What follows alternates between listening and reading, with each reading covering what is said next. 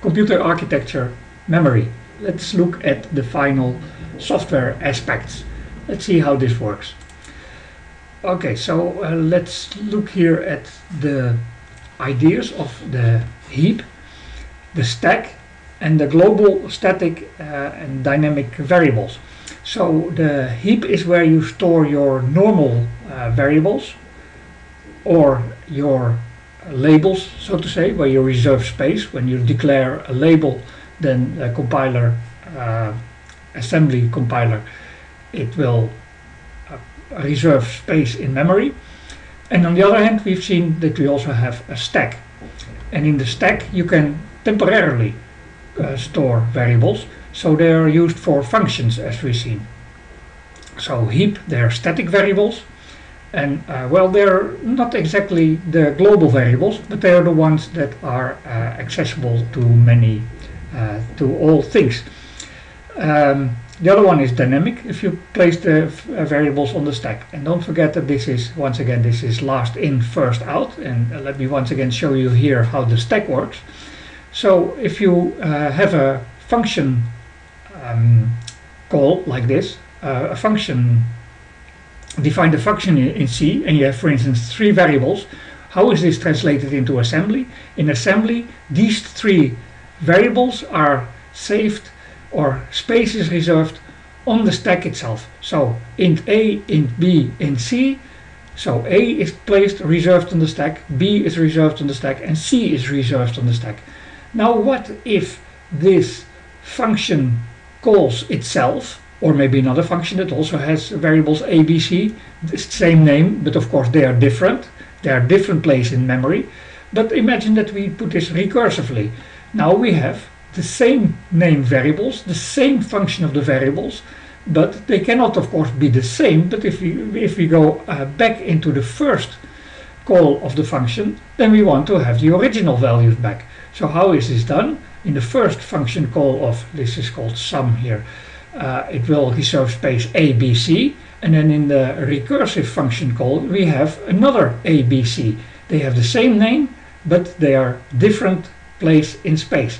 And then when we uh, go out of the first recursive function call, these three will be destroyed and we remain with these other three. And now the function uh, that is being called will have access to these and by the time it reaches the end of the function, it will destroy this stack. So in this way we can have recursive uh, functions that, that, that, can call themselves and we can uh, do this. We can have as many nested self-calling function calls as there is space available on the stack. Sometimes it happens that uh, you don't have here uh, um, a stopping condition. Let's say if a uh, whatever, if the argument equals to zero, then don't call myself, but just go directly out and then what you will get that this grows the stack will grow forever and then you will get a stack overflow. Or maybe the computer crashes if you have an old computer but if you have a new computer the operating system will protect uh, for that. Okay so that is the stack. We so we have the heap we have the stack and we also have something that is um, uh, global that you have a global pointer and uh, the global pointer we also have in uh, MIPS I would advise you not to use global pointer. I would advise you also not to use any global variables because it will make your uh, program very messy and it will make it not easy to um, to give away to other people. But now let's see uh, something that is called uh, garbage collection. Imagine we have a multitasking computer or multiprocessing computer or multi-thread computer, whatever you want to call it remember, or you will maybe get this in other lectures from uh, operating systems, a process is, um, well, that is a process that has completely its own memory, reserved memory, while a thread is sharing memory with the process. So a process can have various threads, but the threads, a thread always belongs to one process. Well, you will learn this probably somewhere else also. This is not part of computer architecture. But now imagine that we have in memory, we have three processes or programs or whatever you want to call it. There, all three of them are running. And uh, in between here was a fourth process, but it has been uh, killed, it has ended. Maybe it was an internet connection or whatever. Maybe it was your browser that was open. Maybe it was uh, here you were listening to this uh, video, which you're going to stop in a moment. And then this memory is no longer uh, needed by that process, so it can be liberated. So now we have here processes that are not connected and there is space in between.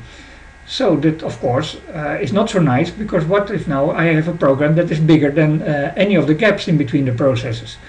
Mm, so okay, for that we have the uh, operating system and the operating system takes these processes, the programs that are running in, um, in memory and it will just stop them uh, temporarily, all of them, and starts arranging them nicely. It is sort of like that um, that hard disk that you can do fragmentation, uh, if you remember that. Modern disks don't need this anymore, but before it was like that, that you had to put uh, place the blocks nicely jointly so that you have more space uh, here.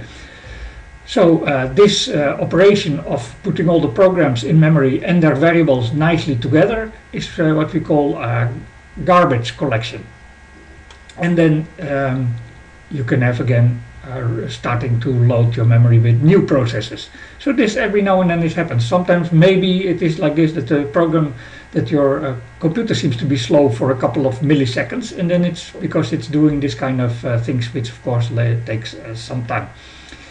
Um, and finally, we also have uh, in MIPS that is we have a frame pointer. We already had the stack pointer, but we also have a frame pointer and the frame pointer serves the purpose that it is at the uh, bottom of the stack while the um, the stack pointer is at the top of the stack.